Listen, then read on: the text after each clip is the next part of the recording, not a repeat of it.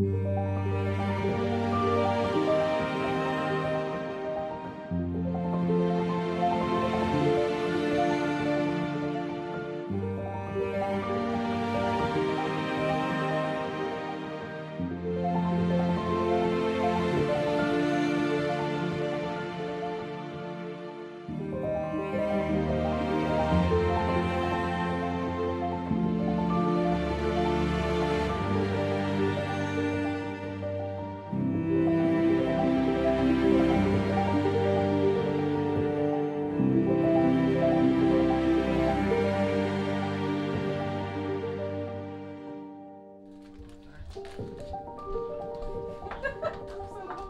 m'appelle Stéphanie Chassé, j'ai 33 ans. Je suis maman de trois petites princesses, Emma Côté, 10 ans, Romy Côté, 7 ans et Élie qui vient juste d'avoir 4 ans. Et mon chum s'appelle Patrick Côté et lui, il travaille à Fermont. On reste à Godbout depuis, en fait, à peu près juillet. On est dans un petit village, à peu près 300 habitants. C'est super tranquille, euh, en avant de la mer. Euh, on manque de rien ici, malgré qu'on est loin de l'épicerie. On est super bien à Godbout. J'ai tombé enceinte d'Emma. Si je me trompe pas, j'avais 22 ans. C'était le premier bébé qui est arrivé, fait qu'il était très, très entendu, ce bébé-là. Emma, elle avait toujours des virus par-dessus virus. on aurait dit qu'elle avait de la misère à guérir, en fait, tout le temps. On s'est laissé nous envoyer passer des radios à l'urgence, puis on fait des prises de sang en même temps, puis c'est là qu'ils ont vu que tout était bas dans son sang. Globules rouges, les plaquettes, les globules blancs qui étaient hauts, mais pas assez hauts à leur goût, en fait. Puis là, ils ont dit on n'a pas le choix, il faut vous envoyer au CHUL. L'avion, en fait, n'était pas euh, ouvert à ce que les parents embarquent avec les enfants. Ça, ça fait pas des années que les enfants sont envoyés en avion puis que le parent peut accompagner. Emma avait 14 mois quand elle a fait son premier vol d'avion toute seule. On a fini par avoir quand même des réponses, puis c'est là qu'on a su qu'elle avait un déficit immunitaire.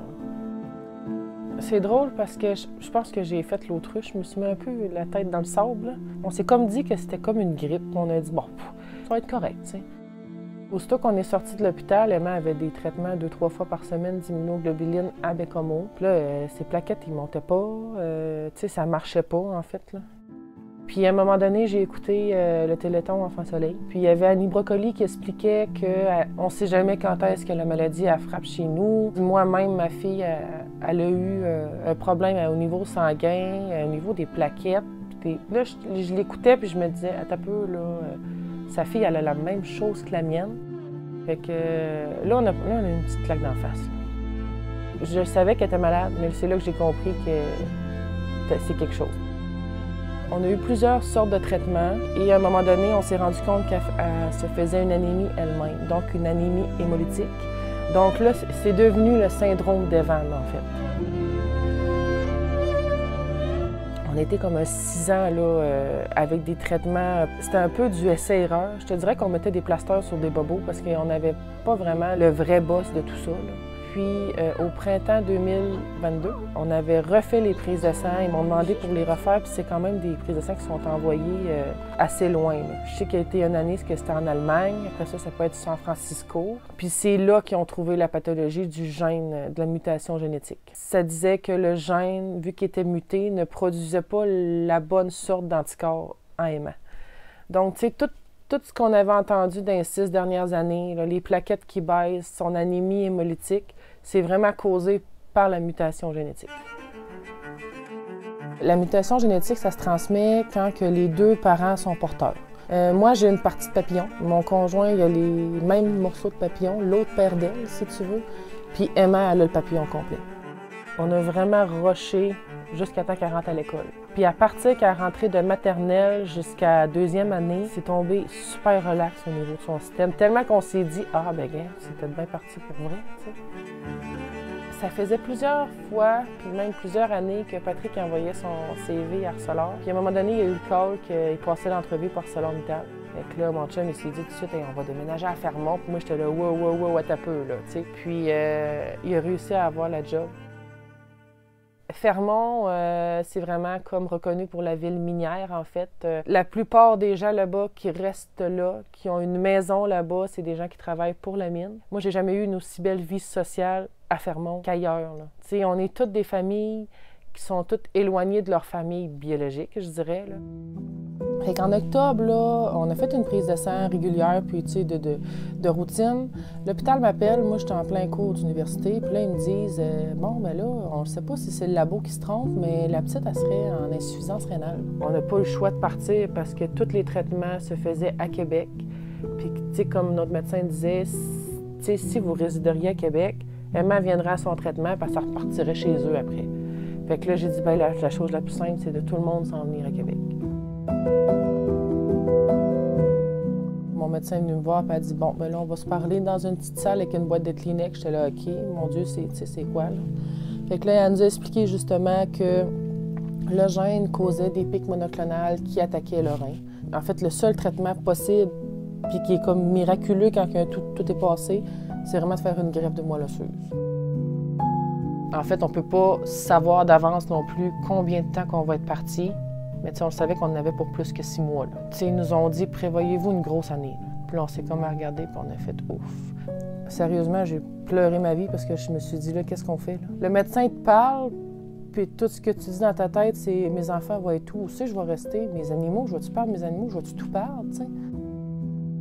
Quand on arrive en greffe, en fait, on nous présente un tableau euh, qu'on a une semaine environ, tout dépendant du protocole de l'enfant, de conditionnement.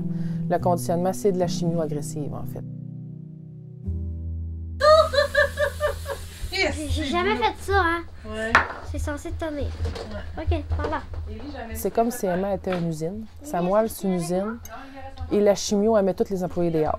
Après une semaine, en fait, tous les employés sont dehors et le greffon, en fait, va être les nouveaux employés qui sont très sains d'esprit et qui sont pas malades. Le gène n'existe pas du tout pour lui. A encore sa génétique au niveau des organes, des tissus et tout, là.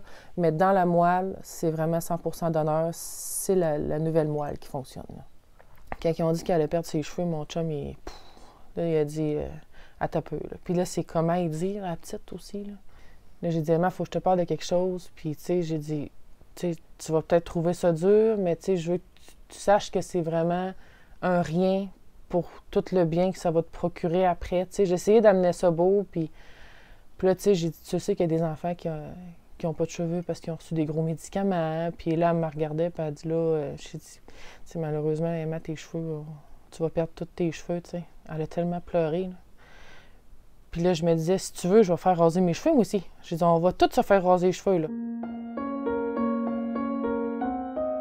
Elle a pleuré son coup, mais après ça, elle s'est mise à dire, je pourrais avoir plein de perruques. Je pourrais en avoir une rouge, une bleue, une verte. Le 28 mars, c'est là qu'elle a reçu euh, la greffe du donneur anonyme, en fait.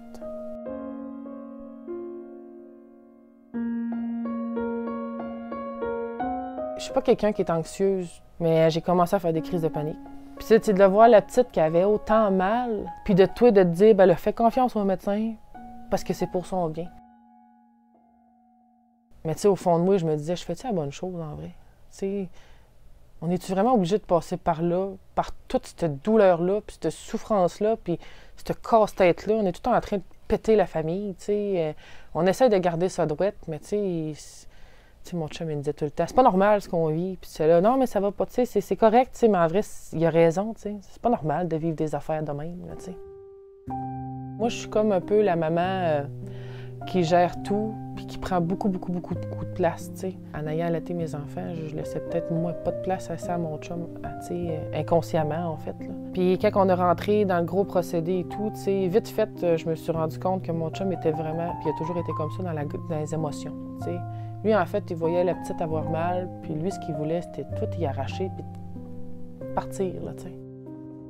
Moi, j'étais comme, non, non, moi, je suis comme dans le rationnel, puis dans le positif, tu sais, il faut faire ça et tout. Fait que, tu sais, vite, j'ai pris ma place de comme, OK. Puis, tu sais, même mon chum, il le dit, quand c'est des gros rendez-vous, avec des gros termes, avec plein de têtes, là, euh, ben, c'est maman qui y va, tu sais.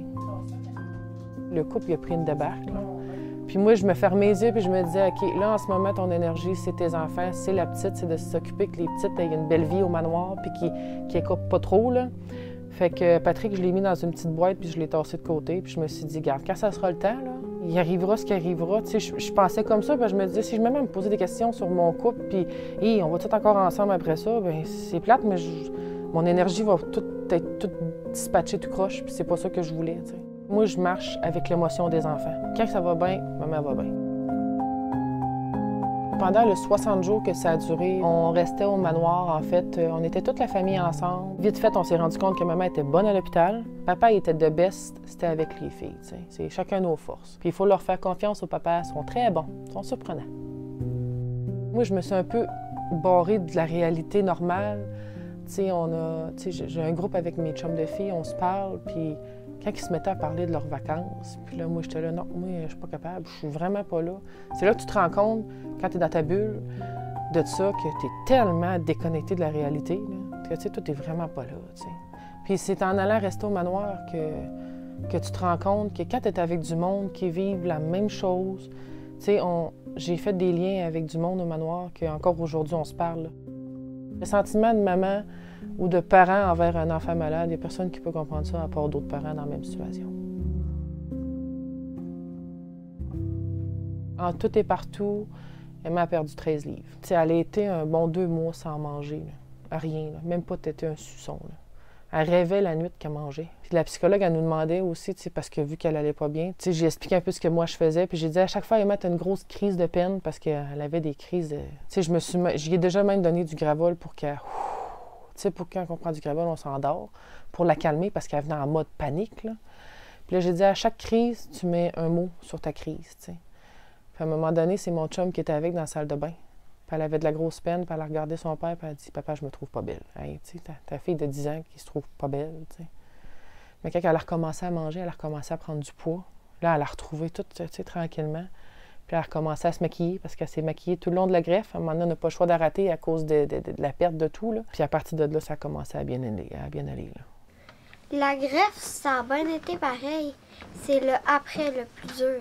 C'est juste qu'il faut que tu aies la chimio, il faut que tu restes euh, dans ta chambre, il faut que tu sois isolé, il faut que tu enlèves ton système. Faut...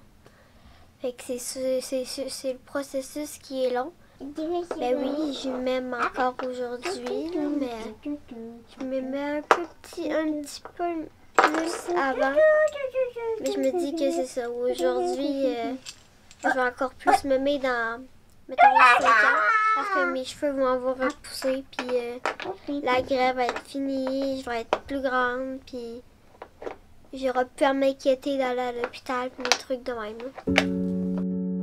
Quand Emma a vraiment commencé à aller mieux, tout allait mieux. Les prises de sang sont de notre côté, enfin, ça a été long. On peut dire qu'elle est guérie parce que le gène n'existe plus dans la moelle, justement. Je te dirais que la dernière année a été une grosse remise en question en tant que maman et femme aussi. on met tellement tout sur pause. Autant mes enfants qui mettent ça sur pause que mon conjoint il a été un an sans travailler, euh, qui a recommencé à travailler dernièrement, ce qui était une autre étape en se disant ben, quand tu vas repartir à travailler, check, check, ça veut dire que ça va encore mieux. Là, on est stable, on est stédé. Puis ça, c'était vraiment ma priorité, c'est que tout le monde soit stable dans la maison. On a retrouvé nos chiens, on a retrouvé nos chats, on est dans une petite maison paisible dans mon village natal, tu sais. Euh, là, on est heureux. Le stress que les clés de la maison à Fermont sont données, savoir qu'il y a une paix qui rentre, que je suis capable de remplir mon frigidaire, que les enfants sont heureux, que tout le monde est en forme, tout est stable, tout va bien. C'est une grosse année, là. Check, on est passé au travail.